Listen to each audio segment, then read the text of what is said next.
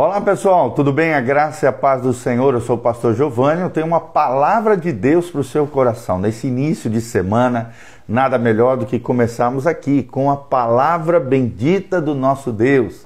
Aprendemos juntos princípios tremendos que Deus tem na sua palavra bendita para abençoar o nosso coração. Desde já quero mandar um abraço, doutora Kátia Rezende, o Sérgio Bueno, os nossos queridos irmãos que vão entrando aqui nessa live, vai compartilhando com outras pessoas, a fim de que o máximo de pessoas possam estar aqui curtindo essa mensagem do coração de Deus. Hoje o tema é cooperação, trabalho em equipe, trazendo como exemplo aqui Davi e o grande segredo de Davi para as suas vitórias à frente do povo de Israel. Nós estamos aqui em 2 Samuel, capítulo 8, versículo 1, um trecho que fala sobre as diversas vitórias de Davi nos seus tempos de batalha, nos seus tempos de guerreiro. Davi foi um grande guerreiro, um grande vencedor, alguém que em todas as pelejas e todas as batalhas que ele teve, jamais sequer perdeu uma batalha, porque Deus era com ele, o Senhor era exercia o seu favor, a sua graça diante de Davi, triunfando sobre os seus inimigos. E a grande pergunta é: e você tem triunfado sobre os seus inimigos? E a Bíblia diz que o crente tem três inimigos: a nossa carne, né, a nossa natureza pecaminosa, inclinação para o mal. O segundo inimigo é o cosmos, o mundo contrário a Deus, aos princípios e valores do reino de Deus. E o terceiro, Satanás e seus demônios. Será que nós temos triunfado sobre os nossos inimigos? Quero mandar um abraço para o Guia Vertical também, a Camila Godoy, sempre está aqui conectada conosco. Que a, a graça e a paz de Jesus esteja sobre todos nós. 2 Samuel, capítulo 8, versículo 1, está aqui a Bíblia, vamos aprender juntos. A palavra de Deus diz: Depois disto, feriu Davi aos filisteus e os sujeitou e tomou de suas mãos as rédeas da metrópole. Também derrotou os moabitas, fê-los deitar em terra e os mediu. Duas vezes um cordel para os matar, uma vez um cordel para os deixar com vida. Assim ficaram os moabitas por servo de Davi e lhe pagavam tributo. Versículo 3: Também Adazazer Adadezer, filho de Reob, rei de Zobá, foi derrotado por Davi quando aquele foi restabelecer o seu domínio sobre o rio Eufrates. Tomou-lhe Davi mil e setecentos cavaleiros, vinte mil homens de pé. Davi os derrotou com todos os seus cavalos, carros, menos para cem deles que escaparam. Versículo 5: Vieram os sírios de Damasco a socorrer Adadezer, rei de Zobá, porém Davi matou dos sírios 22 mil homens. Davi pôs guarnições na Síria de Damasco e os sírios ficaram por servos de Davi. Por onde quer que ia, tomou Davi os escudos de ouro que havia com os oficiais de Adadezer e os trouxe a Jerusalém. Tomou mais o rei Davi muito grande quantidade de bronze de Betai, de Berotai, cidades de Adadezer então, ouvindo Toi, rei de Ramate, que Davi derrotava todo o exército de Adadezer, mandou seu filho Jorão, rei Davi, para o saudar e o congratular-se com ele por haver pelejado contra Adadezer e por havê-lo ferido, porque Adadezer de contínuo fazia guerra contra Toi. Jorão, Jorão trouxe consigo objetos de prata, de ouro, de bronze, os quais também o rei Davi consagrou ao Senhor. Olha só que lindo o rei Davi consagrou ao Senhor, juntamente com a prata e o ouro que já havia consagrado de todas as nações que o sujeitara. Da Síria, de Moabe, dos filhos de Amon, dos filisteus, de Amaleque, dos despojos de Adadezer, filho de Reobe, rei de Zobá, ganhou Davi renome quando ao voltar de ferir os sírios, matou 18 mil homens no vale do Sal, pôs guarnições em Edom e em todo Edom, pôs guarnições e todos os edomitas ficaram por servos de Davi, e o Senhor dava vitórias a Davi por onde quer que ia. Aqui está o grande segredo de Davi. O Senhor lhe dava vitória por onde quer que Davi ia. Davi não perdeu sequer uma batalha, só perdeu para si mesmo, é claro, naquele pecado de Betseba, nós sabemos, matando Urias e também é, tomando Betseba como é, sua mulher, né? Foi um erro, foi um, um, inimigo interno. Ele não teve domínio de si, acabou falhando, pecando. Nós sabemos essa história,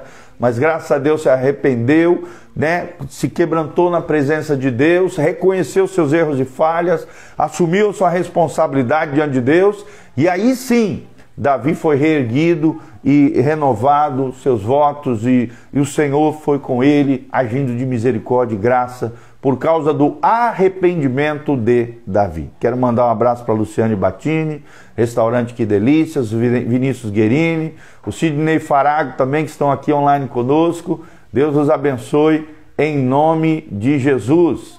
Glória a Deus. Fomos muito felizes, né, pelos irmãos estarem aqui se conectando conosco. Mas o que, que nós podemos aprender nesse pequeno trecho de 2 Samuel 8, de 1 até o versículo 14? Qual era o grande segredo de Davi? Como é que Davi conquistava todas essas nações? Né? Nós temos menção aqui de várias nações conquistadas por Davi. É porque Davi aprendeu a lei da vitória, a formação de equipe. Os valentes de Davi são relatados na Bíblia Sagrada como grandes homens de Deus que derrotaram grandes exércitos, porque o Senhor era com Davi e Davi também era um homem fenomenal em trabalhar com equipe. Então nós vemos aqui de forma repetida em 2 Samuel o rei nos dando uma boa ilustração dessa lei da vitória e do trabalho eficiente em equipe. Davi encontra uma maneira de ajudar Israel a triunfar sobre os seus inimigos que estavam em derredor, sempre conquistando, de novo, de novo, conservando o povo, trabalhando unido, num só coração, num só propósito, a fim de alcançar novos alvos, propósitos divinos, sonhos e projetos, e expandindo o território de Israel por todos os lados. O que, que nós podemos aprender com Davi sobre a conquista de pessoas e equipes? É o nosso tema de hoje na nossa meditação aqui em 2 Samuel 8. Uma conquista de equipe envolve oito passos que nós queremos aprender, ensinar para você aqui, é, avaliando a vida de Davi e ensinando ao teu coração. Será que você sabe trabalhar com outras pessoas?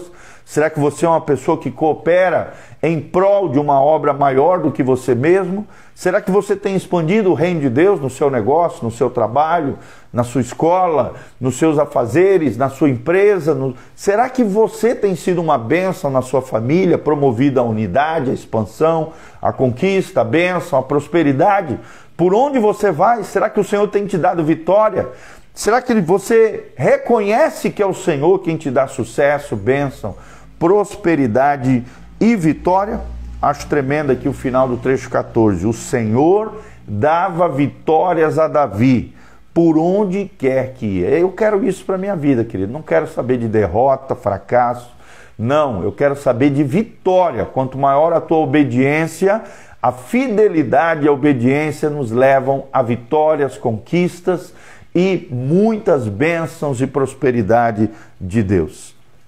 A obediência, é, a felicidade é a filha da obediência. Vou repetir: a felicidade é uma filha da obediência. Quanto mais obedientes nós somos a Deus e aos seus propósitos, a sua palavra, mais felizes, mais abençoados, mais triunfantes, mais vitoriosos nós seremos. Como conquistar uma equipe e como triunfar sobre os nossos inimigos? Em primeiro lugar, comece com um plano.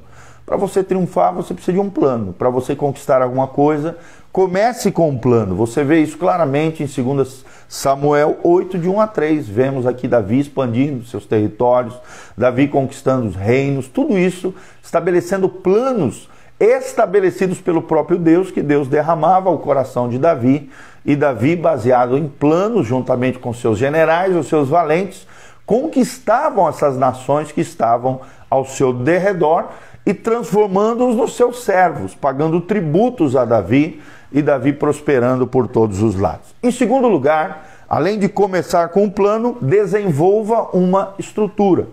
Se você observar a vida de Davi, as suas conquistas, você vê que a cada momento Davi vai gerando uma estrutura maior de governo, de monarquia, de reino, e também dentro dos seus exércitos. Vai conquistando, vai adquirindo carros, cavalos, guerreiros, e de forma enigmática, Davi atraindo pessoas na sua direção, a fim de que o seu exército se tornasse cada vez mais poderoso, desenvolvendo uma estrutura, é o segundo princípio que nós aprendemos. Terceiro, contar com um líder ungido. Toda estrutura, todo plano precisa de um líder ungido, ou uma líder, né? um homem, ou seja, mulher, né? uma pessoa ungida, capacitada pelo Senhor.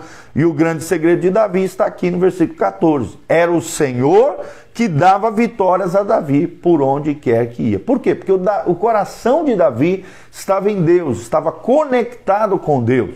E na medida que o teu coração estiver conectado com Deus, Deus te, te dará triunfo, vitória, conquista, bênção e prosperidade. Contar com um líder ungido é um dos segredos para nós formarmos grandes equipes para a glória de Deus e cooperarmos nos propósitos divinos. Em quarto lugar, priorizar os interesses de outros.